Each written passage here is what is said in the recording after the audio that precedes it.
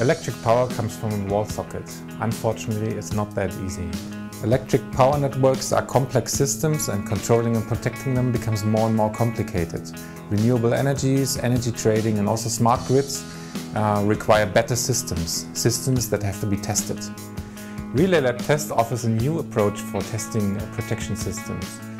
Handle the complexity by just simulating the network. Simulate all the network elements, but also simulate everything that can go wrong. And in a single network, there's an infinite number of faults that can occur.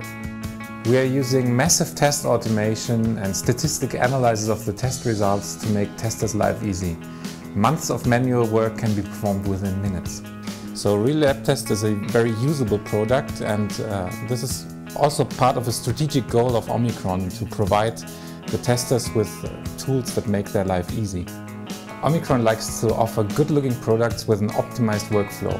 We chose Centigrade as our partner for the usability and the visual design, and that was a very good decision. Together we worked successfully on the design and on the implementation of the product with great results.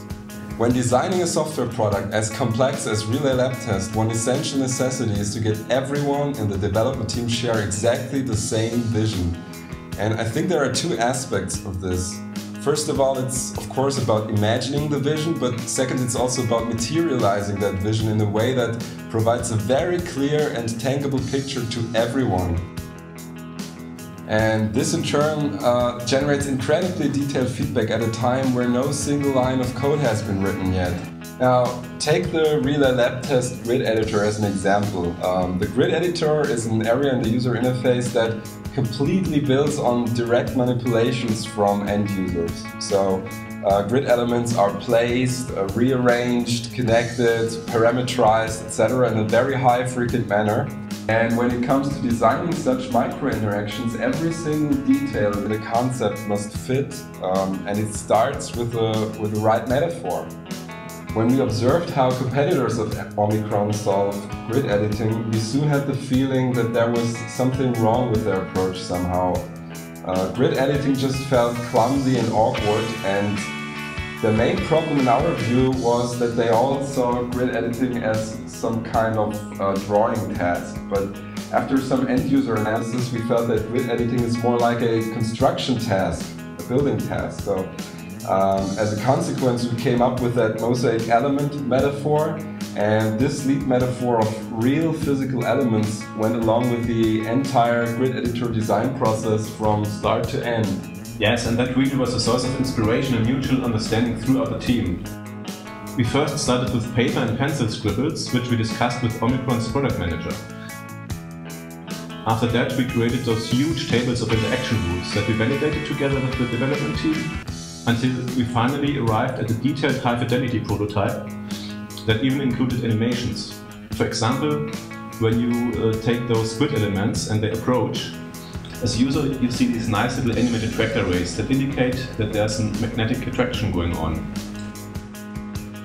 The grid editor is just one example, but not just this module benefits from our design process. Um, the entire application with all its screens did so.